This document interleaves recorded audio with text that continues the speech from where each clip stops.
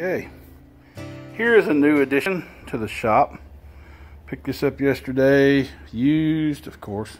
I would hope it would be used in this condition. Um, it's not perfect, but it runs really smooth. Uh, doesn't rattle. I'm not real fond of those tables there, but I've got some extension tables off an old saw that I can use on this and I plan on it. It had a, a homemade rolling addition on the bottom. It was all rusted so I painted it with uh, some rust inhibitor yesterday and I'm going to paint it today, reinstall it so I can roll it around the shop. Uh, right now the shop's kind of cluttered. I hadn't had a chance to do any cleaning. I've just been doing uh, projects.